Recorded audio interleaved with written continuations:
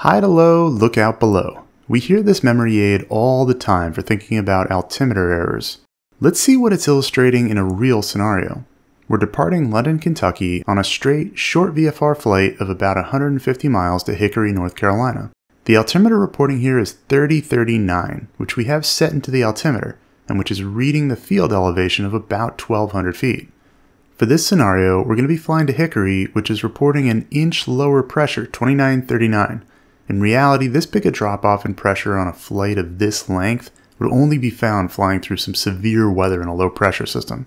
But it's going to work to illustrate our flight from high pressure here in Kentucky to low pressure in North Carolina. We're traversing the Appalachian Mountains and we find the highest MEF. Our route is 6,600 feet, so we're going to plan our eastbound flight at 7,500.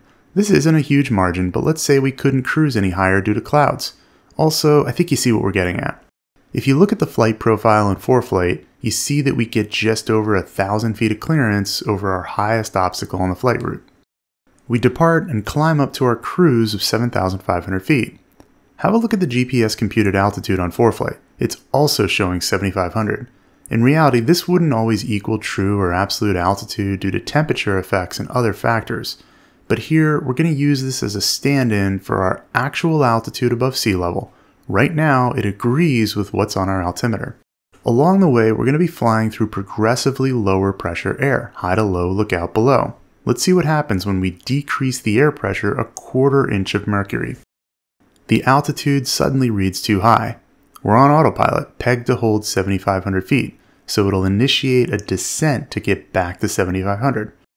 In reality, this pressure change will happen continuously, so the autopilot will correct without us even really knowing about it.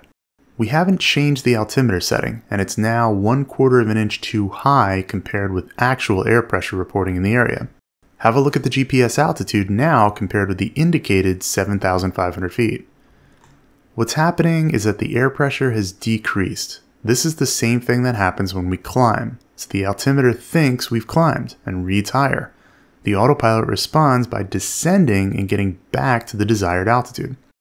Let's switch the MFD over to look at relative terrain heights. The screen is mostly black, but there are a few small patches of green out there. The legend in the lower right of the screen tells us this means terrain is between 1 and 2,000 feet below us. We'll keep referencing that as we go. Later on, we change the weather again to make it even lower pressure.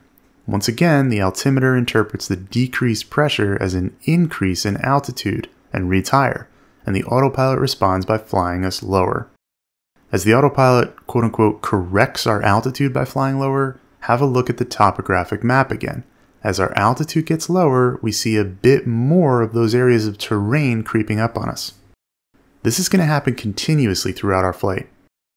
We get to the base of the Appalachian Mountains and we're going to drop the air pressure again, consistently flying from high to low. Our true altitude, represented here by the ForeFlight GPS altitude, shows us creeping below 7,000, but the altimeter still thinks we're at 7,500. We see a bit more green on the MFD and start seeing some yellow areas too, indicating terrain less than 1,000 feet below us. We get into the mountains and we're going to drop the weather one last time. We're now a full inch of mercury below where we took off and what we still have dialed in on the altimeter. Now, as we descend, look at those greens and yellows popping up.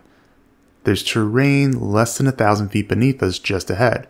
We've flown from an area of high pressure, 3029 inches of mercury when we took off, to an area of low pressure, now 2939. As we've flown from high to low, we look out below and that terrain is right below us, not too safe.